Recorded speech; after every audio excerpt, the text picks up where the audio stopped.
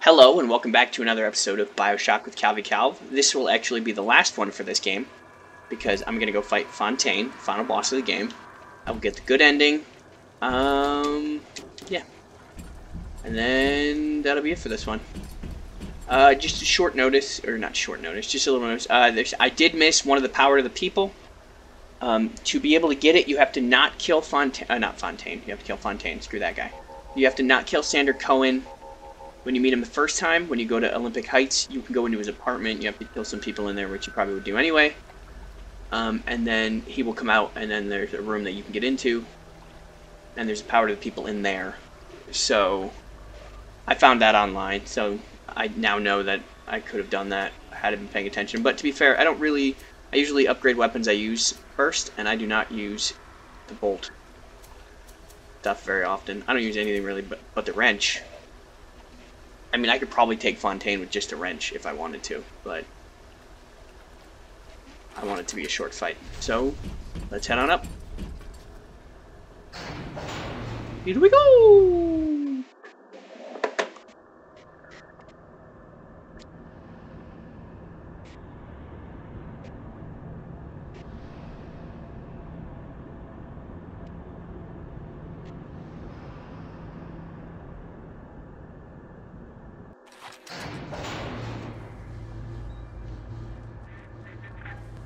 I remember when me and the crowd put you in that sub.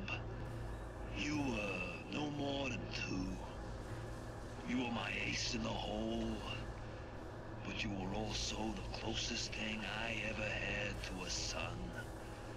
And that's why this hurts. Betrayal, kid. Life ain't strictly business.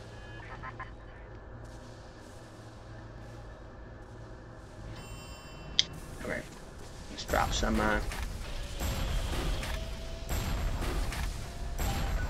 Screw you and everything you stand for.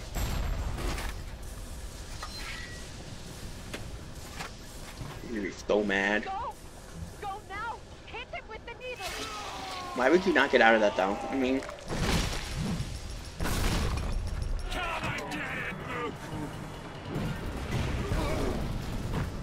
come on.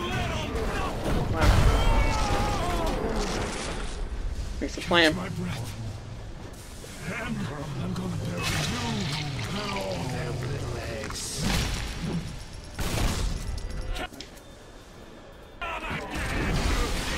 Um, I didn't say switch weapons, but okay.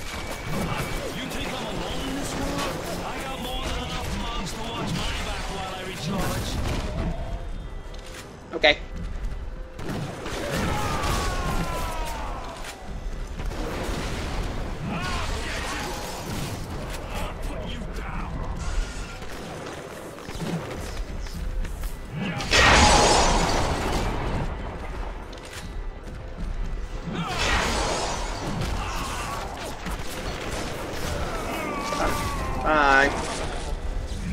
Just to.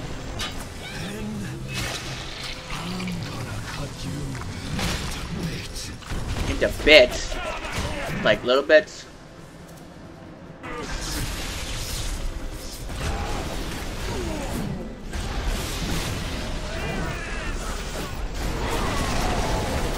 Wow.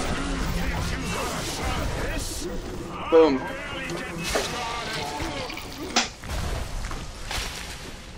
Done. I had you built. I sent you topside. I called you back, showed you what you was, what you was capable of. Even that life you thought you had, that was something I dreamed up and I tattooed inside your head.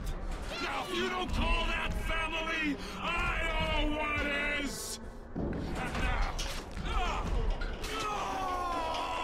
Right in the neck. No, God.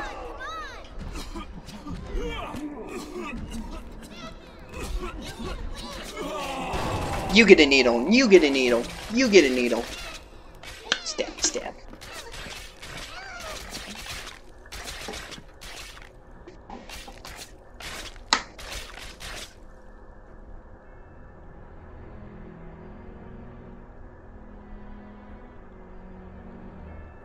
They offered you this city.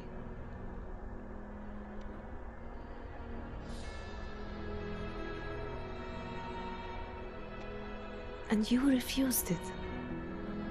And what did you do instead? What I've come to expect of you. You saved them. You gave them the one thing that was stolen from them. A chance. A chance to learn. To find love. To live. And in the end, what was your reward? You never said. But I think I know. A family.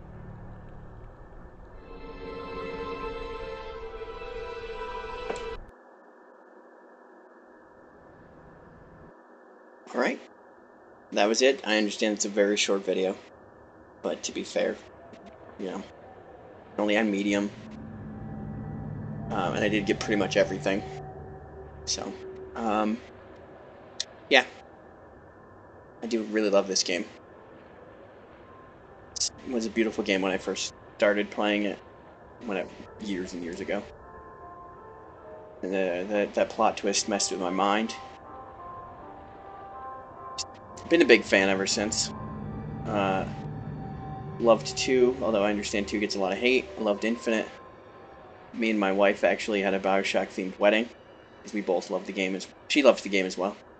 So big fan of the series. Uh, I need to play System Shock at some point because that's the spiritual successor, or not spiritual successor, predecessor. I think System Shock 2.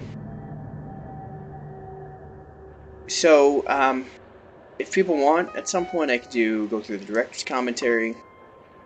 I go through the museum and show everybody everything so you can pause and see it. You know, if, if you didn't buy the this version yourself, you didn't buy the remastered. Otherwise, you could just get everything. Additional content. I don't really like the additional content. It's just kind of little small mission things that really don't add anything to the game, in my opinion. I mean, they're fun challenge. They're fun for challenging purposes, but not really story-wise. I'm a big fan of story. Uh, yeah, so the plan after this is to do Bioshock 2. Hopefully I get that done. I want to do Infinite. Uh, I also have Psychonauts. Those are the kind of the next three games I intend to play. Uh, obviously, I will get the good ending of Bioshock 2. Infinite. Uh, if people want me to play through, replay through Bioshock, uh, I could play it evil, I could play it on hard, I could play it without Vita Chambers, I could do all three at the same time. Same thing with Bioshock 2. I've gone through on Bioshock 2 before and beaten it on hard with no Vita Chambers. So that was challenging. But I figured to get one trophy, or both, two trophies at the same time. Um, Infinite I've gone through on 1999 mode, which was a lot of fun. You gotta be a lot smarter and a lot more tactical. Because you can't just run around and waste everything. Uh, yeah, there's really no good or evil in that one, per se. But that's it. Uh, like, subscribe, comment, would you kindly? I would greatly appreciate it. Any of that, like it, comment, tell me what you thought of the game. Tell me if you want me to dance like a chicken. Uh, and all that jazz. So that's it for Bioshock 1. Next one will obviously be Bioshock 2. So check out those videos as well when they come out. Um, trying to think if there's anything else I should say, but I don't write a script or anything, so I'm not one of those guys who writes scripts for every video they record, that would be weird. Alright, I'll stop dilly-dallying, trying to make this a little bit longer. So, I greatly appreciate anyone and everyone who watches this getting to share one of my favorite games with somebody else, anybody else. So, thank you for watching. Uh, it's been a pleasure playing this game again. And I will see you in Bioshock 2. So, Calvin Calv out.